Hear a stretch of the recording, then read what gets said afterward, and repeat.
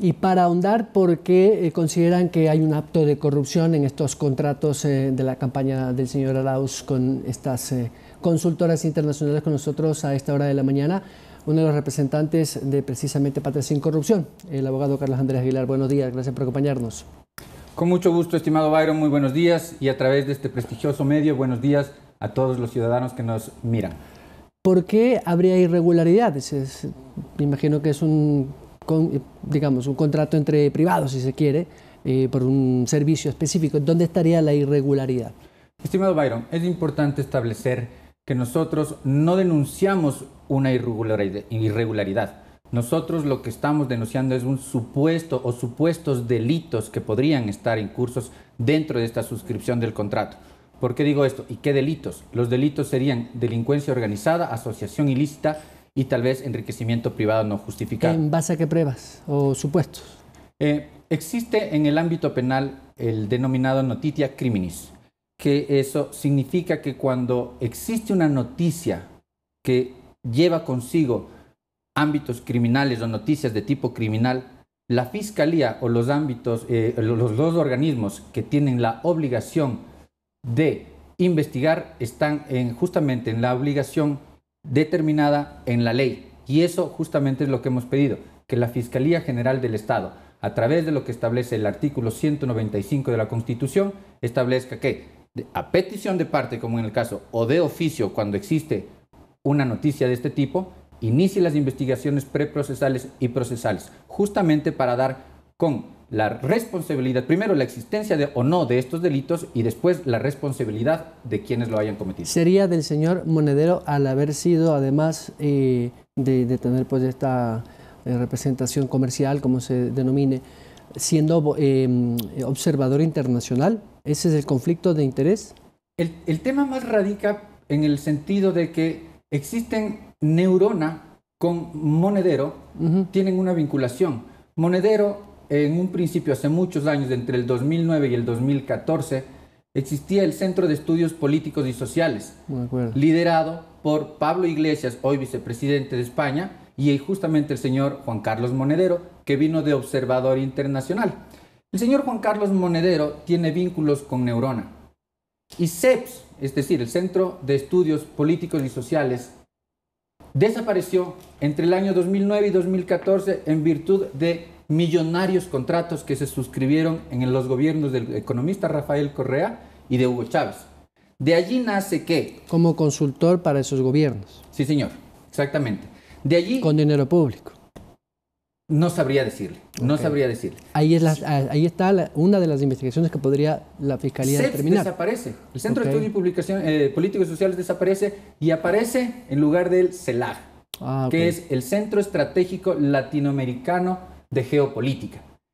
Lo peculiar de este asunto es que CELAG tiene como representante legal en el Ecuador a Guillermo Oglietti, argentino accionista también de la misma CELAG.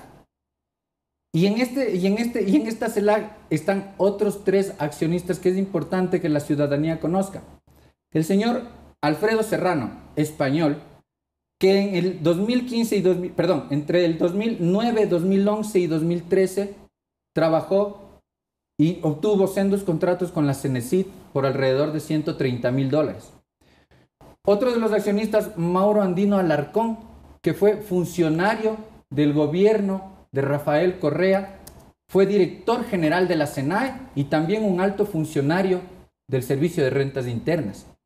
Además está el señor Alfredo Serrano, eh, perdón, Guillermo Glietti, que trabajó como asesor del ministro de Trabajo, ganando alrededor de 60 mil dólares, 5 mil dólares cada mes. Y después también fue asesor del Servicio de Rentas Internas, ganando alrededor de 4 mil dólares cada mes. Es importante establecer que estos señores vinieron como eh, becarios del programa Prometeo, justamente impulsado por el gobierno de Rafael Correa. Entonces, existe CEPS eliminada por los millonarios contratos. Aparece CELAG, cuyo accionista es Guillermo Oglietti y representante legal hoy por hoy de CELAG, y este señor, Guillermo Oglietti, luego funda en el Ecuador la compañía Consultoría Neurona SA, que es la filial de la mexicana Neurona. Entonces, usted, además, y no quiero dejar pasar por alto este dato importantísimo, según los registros de la Superintendencia de Compañías, la compañía CELAG y la compañía Consultoría Neurona SA tienen la misma dirección domiciliaria. Entonces, eh, muchas coincidencias en ese sentido. Eh, y por otro lado, el señor Juan Carlos Monedero, es importante que sepa la ciudadanía y el país entero, está siendo investigado por la justicia española por diversos delitos. Uno de ellos es malversación en el gasto electoral del partido Unidas Podemos, del cual él es parte por alrededor de 300 mil euros. Pero eso tendría una vinculación con la legislación ecuatoriana, al margen de cualquier circunstancia jurídica que pueda tener pues en España. Existe, existe el convenio, eh, la Convención de las Naciones Unidas en contra de la corrupción, más conocida como Convención de Mérida, que establece justamente la cooperación internacional y eso es algo que nosotros hemos eh, detallado dentro de la denuncia presentada el día de ayer en la Fiscalía General del Estado, justamente para que la señora ministra fiscal en base de, ese, de, de, esa convención y lo establecido en nuestra propia legislación a través del Código Orgánico Integral Penal, realice los requerimientos internacionales tal como lo hizo con el eh, fiscal general de la Nación de Colombia. ¿Cree usted, eso le iba a decir, que actúe de, con la misma celeridad en este caso que con la denuncia que hizo la revista Semana de Colombia con una presunta vinculación de un grupo armado colombiano con la campaña de Arauz? Digo esto porque en menos de un mes, efectivamente, hubo una cooperación entre ambas fiscalías y se tuvo información preliminar. No sabemos eh, qué, fin ha tenido esa información para eh, la indagación previa del caso. En, el de ustedes, no sé si eh, puede hacerse con la misma diligencia, con más allá de estos convenios internacionales, como para antes de la segunda vuelta tener algún tipo de resultado preliminar, digo yo. Estimado Byron, es importante establecer que como Patria sin Corrupción estamos convencidos que la ministra, doctora, perdón, la doctora Diana Salazar, en su calidad de fiscal general del Estado, nos ha demostrado fehacientemente su lucha contra la corrupción. En tal virtud, y, por, y ha sido premiado incluso por, por ello, eh, eh, por el gobierno de Estados Unidos. En tal virtud, nosotros, sin duda alguna, estamos convencidos que la doctora Diana Salazar, en su calidad de titular de eh, la Fiscalía General del Estado, actuará como lo ha venido haciendo, con la celeridad que el caso amerita eh, para luchar en contra de estos eh, supuestos delitos. ¿Cree usted que este tipo de denuncias que de alguna otra manera lastiman la imagen o la credibilidad de un candidato, un político, pueda tener algún tipo de repercusión en el electorado, digo esto, en la tendencia que podría dar un voto? ¿No?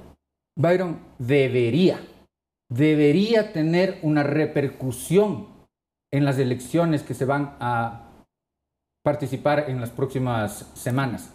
Sin duda alguna, como ecuatorianos, según lo establece el artículo 83 de la Constitución, uno de nuestros deberes y responsabilidades como ciudadanos es justamente el detallado en el número 8 que establece el de denunciar y combatir la corrupción. Nosotros como Patria sin Corrupción hemos venido y hemos aparecido en la vida política y pública del Ecuador justamente para hacer ello. Nos hemos cansado de que el Ecuador sea sumergido dentro de millones, cientos de casos de corrupción. Ayer fueron los casos de las vacunas truchas, por decirlo, del, perdón, de las pruebas truchas, por decirlo, del alcalde Yunda. Ahora es eh, este tema, este mega contrato millonario, de supuesto mega contrato millonario de, Andrés Arauz y la compañía Neurona investigada en varios países, en España, en, Bolivia, tienen cuatro, cuatro, funcionarios cuatro funcionarios bolivianos detenidos justamente por uso indebido de influencias, por conducta antieconómica, por negociaciones incompatibles con la fusión pública. Es decir, ¿cómo puede ser? Es inaudito que el señor Juan Carlos Monedero, que tiene relaciones con eh, la compañía Neurona, que ha sido contratada, pues, supuestamente contratada por, por eh, el señor Arauz y su movimiento político, vengan acá en calidad de, observador internacional. Además, eh, nos parece muy risible, además, ¿qué, qué, qué es lo que pasa? ¿Qué es lo que pasa? O sea, nosotros como ecuatorianos debemos poner un punto final a este tipo de actos que sin duda alguna dañan la imagen de nuestro país. Bien lo dice ya un conocido y, viejo adagio, dime con quién andas y te diré quién eres. Gracias, doctor Carlos Andrés Aguilar, miembro y vocero de Representantes de Patria sin Corrupción. Muy gentil. Gracias a usted, estimado Byron. Un placer haber estado en este medio de comunicación. Un buen día para todos los ciudadanos ecuatorianos. 7.29 de la mañana. Vamos a otra pausa, luego regresaremos con más información y otras entrevistas. Es viernes y esta noche hay un nuevo concierto de temporada en el que está Sinfónica Nacional.